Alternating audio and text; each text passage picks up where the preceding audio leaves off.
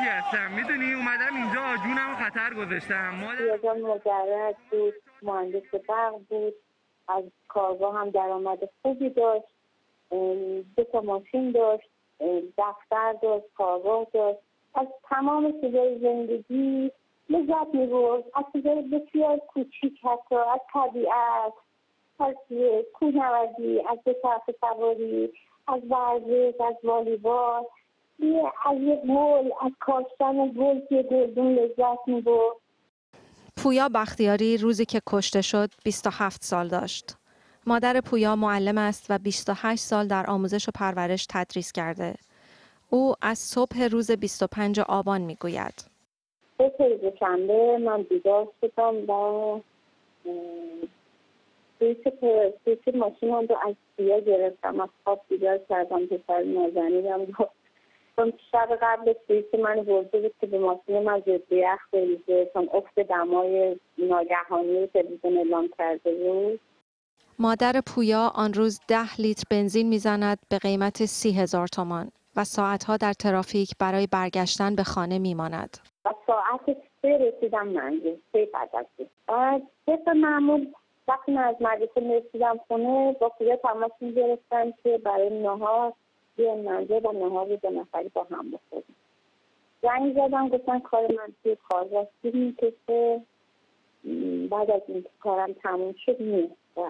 خسته از کار روزانه اومد منزل خیلی غذای مختصری گرم کرد و از خورشی که من پخته بودم سوار کرد خورش بامیه پخته بودم. حالا ببخشید تا این جزئیات دارم میگم. ولی چون گوش نمی‌خورد بامیه هاشو سوار کرد روی برنج اونو گرم کرد بلافاصله خورد خیلی سریع.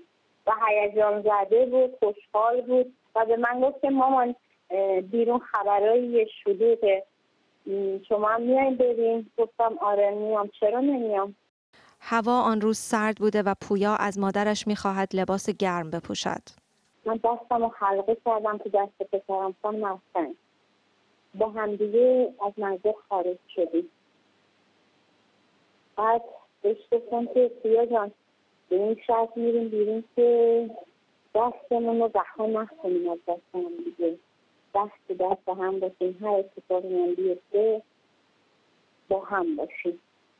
اون شب شب سردی بود خانم افچند بعد توی دو تا ماسک توی کیف من گذاشته بود من اطلاع نداشتم. بعد دفعه گفت مامان ماسک تو درگیر شما ماسک تو بزن. با دست رو برمیزنیم یه داد به من. از این که این پسر اونقدر به فکر من به نستم به قدر رابطه من نزدیک به صمیمی روزانه بارها به من زنگ می‌زد در بود بارها خل منو می‌پرسید بارها منو میبوسید در آغوش می‌گرفت لمسم می‌کرد. واقعا مادر فرزندی ما یه رابطه عاشقانه. شلیک گاز اشکاور ازدهام جمعیت و شلوغی دست پسر و مادر را از هم جدا می کند.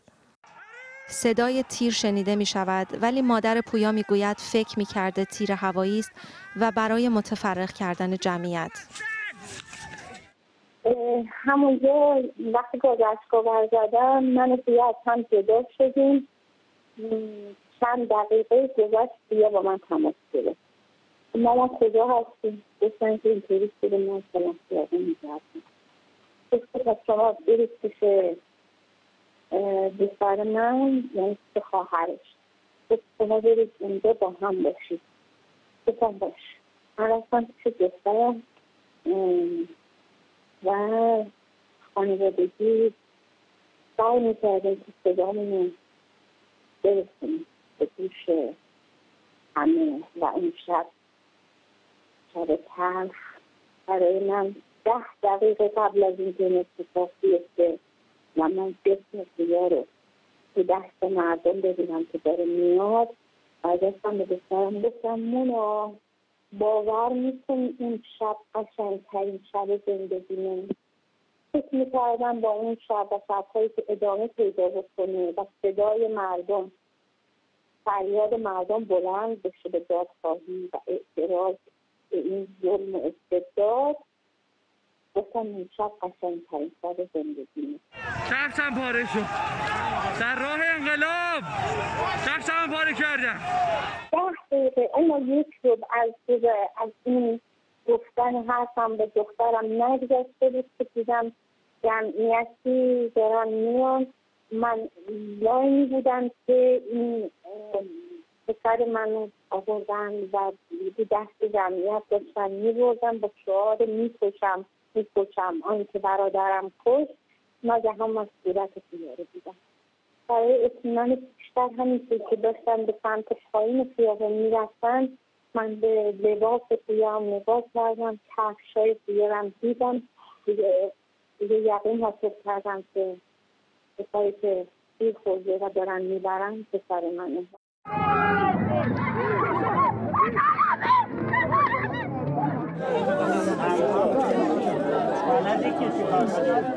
لحظه جای خالی سیاه که نازل احساس می‌کنم. صداش داره که سنه همین اندازه. که هر صبح وقتی متوجه میشه که من برای رفتن به مدرسه بلند میشم خانه دست صورت می‌گیرم آماده میشم با همون صدا متوجه میشه که من بیدارم. از اتاق خواب صدا می‌زد مامان سلام. الان این صدا از 25 آبان تا امروز که 11 آذره این صدا به گوش من نرسیده. چه کسی می‌تونه پاسخگوی نبودن پسر من در کنار من زندگی من تو خونه من جای خالی توی هر لحظه احساسی کی می‌تونه جواب باشه؟ از دست دادن سیاه تا آخر عمرم با منه و من باید بهش عادت کنم تا باهاش کنار بیام.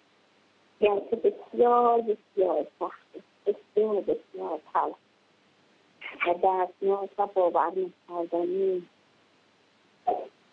اما چه میشه کرد تنها چیزی که می‌تونه تو این شرایط به من تصمیم بده این که من ببینم این اعتراضات هنوز ادامه داره خاموش نشده و خون بکن من هدر نرفته. این عکس هایی است که در خیابان انقلاب حد فاصل دانشکده فنی دانشگاه تهران و کوی دانشگاه گرفته شده. مریم افشنگ بی بی سی